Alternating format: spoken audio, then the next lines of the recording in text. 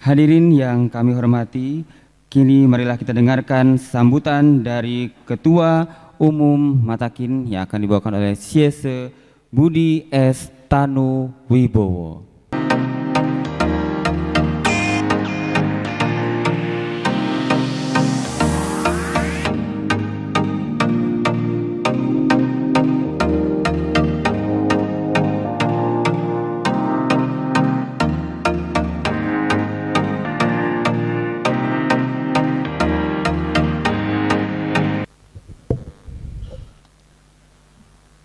Yang sangat saya hormati dan sangat saya banggakan, Gus Menteri Agama beserta segenap jajarannya, ada para dirjen, staf khusus, dan tentu saja Kapus Bindik, Dr. Susari, yang sangat saya banggakan dan muliakan Ketua Kehormatan Matakin, Profesor Dr. Jimli Asidiki yang selalu setia hadir di dalam setiap acara yang diadakan oleh Matakin.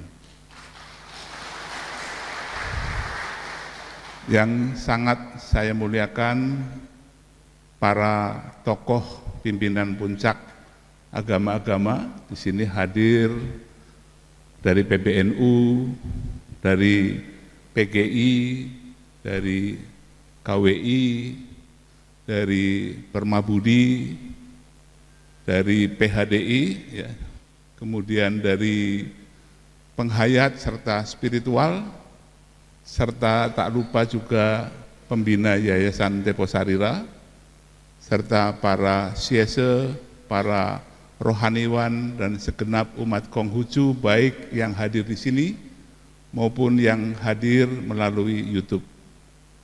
Salam kebangsaan Indonesia. Assalamualaikum warahmatullahi wabarakatuh. Salam sejahtera. Shalom. Om Swastiastu. Namo Buddhaya. Rahayu, Rahayu, Rahayu. Salam kebajikan. Weite Tungtien. Salam Pancasila saya tidak berani melewatkan salam Pancasila karena ada Jenderal Wisnu Bawatenaya di sini, Sekretaris Dewan Pengarah BPIP.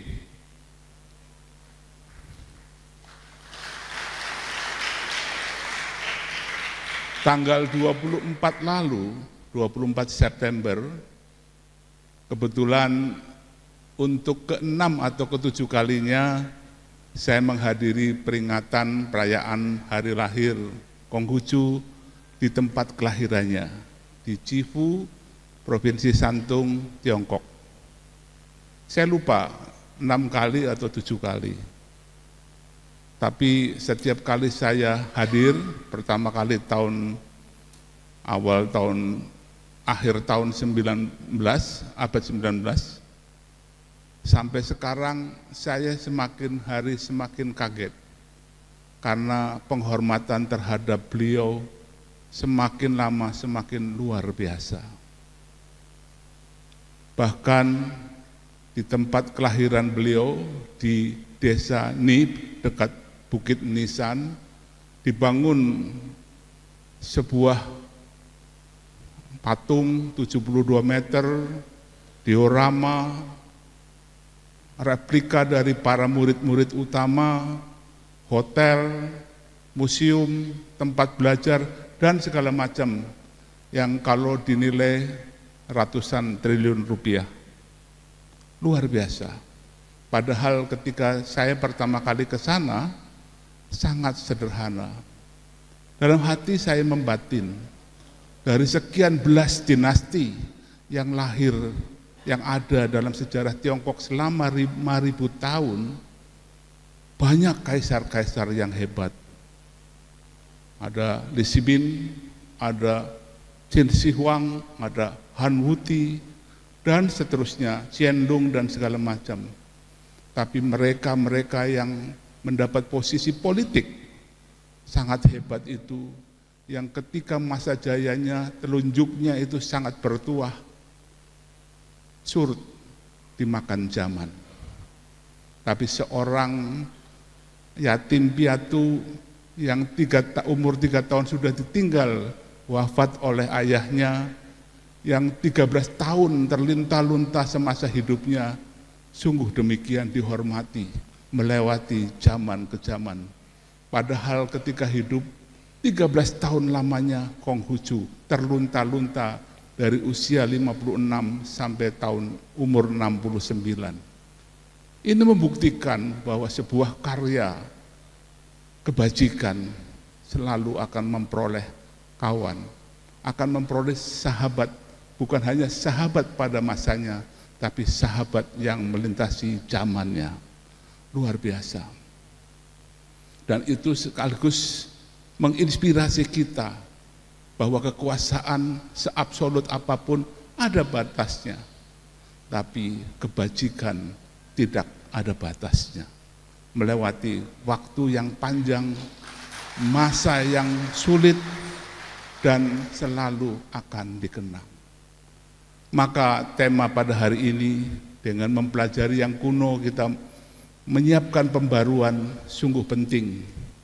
Dan di tangan saya saat ini adalah salah satu kitab Konghucu yang terakhir di Indonesia kan karena paling sulit. Ini adalah kitab Chun Chuching yang mengisyaratkan catatan sejarah panjang Tiongkok dari kacamata seorang Konghucu karena ini ditulis sendiri oleh beliau pada usia 69 sampai 72 tahun pada saat beliau menjelang wafat mengisahkan catatan sejarah yang diperbuat atau ditorehkan oleh setiap raja yang memerintah dalam kurun waktu yang panjang itu. Dari sini dicatat apa yang baik, apa yang tidak baik. Dari sini kita belajar apa yang perlu diulang dan apa dipertahankan, ditingkatkan dan apa yang perlu dibuang jauh-jauh. Tapi sejarah membuktikan bahwa selama ini manusia tidak pernah belajar dari sejarah dan selalu mengulangi kesalahan demi kesalahan yang tidak ada ujungnya. Padahal kalau mau belajar banyak catatan yang bisa kita baca dengan hati jernih yang mengingatkan bahwa segala sesuatu ada batasnya. Dulu kita mengenal seorang madam yang sangat powerful, istri dari ketua Mao yang bernama Chiang Ching. Beliau mengatakan seks pada awalnya nikmat, tapi yang lebih nikmat adalah kekuasaan. Karena dia bisa membius dan kemudian membuat kita nanar dan lupa.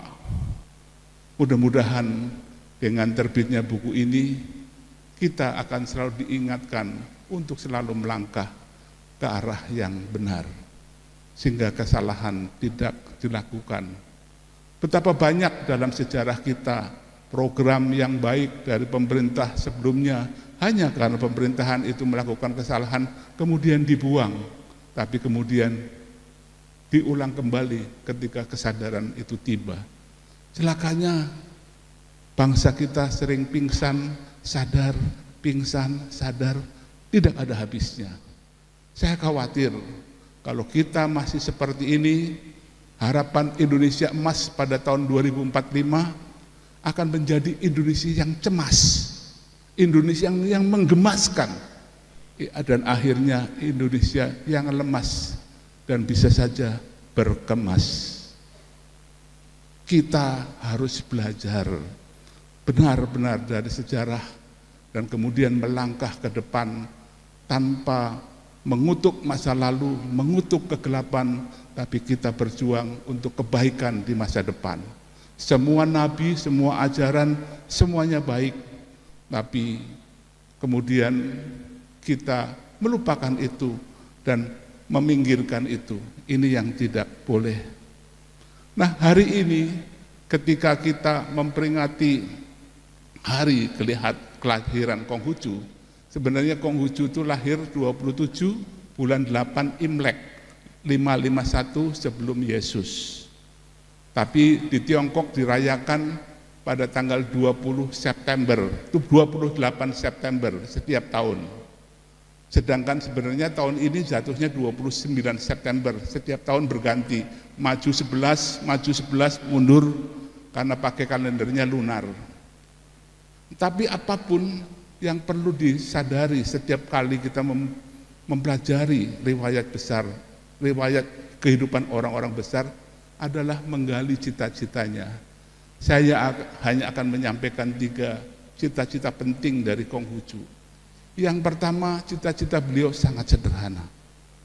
Membahagiakan orang yang lanjut usia, bersik membina generasi muda dengan kasih sayang dan antar sesama bisa dipercaya. Bayangkan kalau setiap orang tua merasa secure, terjamin masa tuanya karena anak-anaknya berbakti, maka orang tua itu tidak akan menumpuk harta ketakutan karena kapir, takut kapiran di hari tuanya, takut keleleran di hari tuanya, karena dia yakin bahwa anaknya akan berbakti. Dan ketika anak-anak dididik dengan baik, niscaya dia akan memperhatikan dan menyayangi orang tuanya sampai kapan pun. Dan kalau sebuah keluarga orang tuanya terjamin, anak-anaknya terdidik dan antar keluarga bisa dipercaya, dunia sudah damai. Sesederhana itu untuk membuat damai. Tapi celakanya selama sejarah kemanusiaan berlangsung, ketika manusia jumlahnya cuma ratusan juta menjadi satu miliar dan sekarang 8,1 miliar, bumi terbukti cukup bisa menghidupi manusia, tapi bumi tidak cukup memenuhi kebutuhan satu orang yang serakah. Apalagi kalau orang itu mempunyai power atau kekuasaan. Itu yang harus kita lawan. Yang kedua, ajaran yang penting adalah apa yang diri sendiri tiada inginkan. Jangan diberikan kepada orang lain. Saya penggemar berat durian, tapi mungkin ada di antara saudara yang tidak suka durian hanya karena saya merasa bahwa durian paling enak, saya paksa teman yang tidak suka durian makan durian. Kita akan bermusuhan. Saya meyakini agama Konghucu yang terbaik. Karena itu saya akan konghucukan semua orang. Itu sumber problem. Sebuah negara merasa demokrasinya yang paling baik hak asasi menurut versinya adalah yang paling baik. Kemudian karena maksud baik memaksa yang lain untuk ikut itu juga tidak baik. Maka jangan lakukan apa yang diri sendiri lakukan. Kalaupun orang lain merasa bahwa itu baik, orang juga bisa berusaha sendiri. Dan yang ketiga, cita-cita beliau yang paling besar adalah terciptanya tatung kebersamaan agung di mana setiap orang, setiap keluarga, setiap bangsa, setiap negara, seluruh dunia menjadi sebuah keluarga besar yang saling membantu, saling menolong. Ketika Konghucu satu tahun menjadi menteri kehakiman di dalam kerajaan Lu dan menjadi perdana menteri, dalam 100 hari pemerintahannya penjara itu menjadi kosong. Barang-barang di mana pun aman seperti yang terjadi di Jepang saat ini. Semua orang merasa bahagia. Orang mengelola alam hanya sesuai kebutuhannya. Bahkan Konghucu sendiri memberi contoh, kalau dia ingin makan ikan, dia memancing, tidak menjaring. Dan kalaupun menjaring, tidak yang rengket sehingga anak-anak ikan atau anak-anak burung bisa lepas. Dan kalau dia ingin memanah burung, pantang untuk memanah burung yang sedang hinggap apalagi sedang tidur. Tapi burung yang sedang terbang, artinya kalau you terpanah memang meritokrasi you kalah sama yang mana. Jadi ada fairness di sini. Inilah yang mungkin perlu kita tanamkan karena membangun bangsa adalah membangun manusia dan kalau kita melupakan pembangunan manusia maka yang terjadi adalah bolak-balik bolak-balik, terus bolak-balik seperti sekarang. Inilah yang perlu kita renungkan dan saya pikir apa yang dilakukan oleh Konghucu juga dilakukan oleh Nabi besar Muhammad, oleh Yesus Kristus, oleh Krishna, oleh Lao Tse, dan oleh para orang-orang hebat zaman dulu. Jangan segan mempelajari yang kuno, karena yang kuno kadang-kadang sesuatu yang sudah merupakan baik, cuma kemasannya yang perlu kita sesuaikan dan kita selaraskan dengan kebutuhan sekarang. Dengan demikian, maka kita akan melangkah maju bukan bolak-balik karena apa yang kita lakukan ternyata keliru. Mudah-mudahan lewat peringatan hari-hari besar orang-orang hebat, kita semua bisa belajar dan ke depan kita akan bisa membangun kemanusiaan yang menjadi cita-cita dari kita semua. Terima kasih kepada Gus Menteri dengan Pak Kapus serta segenap jajaran Kementerian Agama, para tokoh lintas agama dan para sponsor yang menyelenggarakan acara ini. Semoga kita semua bisa belajar menjadi manusia yang semakin arif, semakin bijak setiap hari. Sancai. Terima kasih.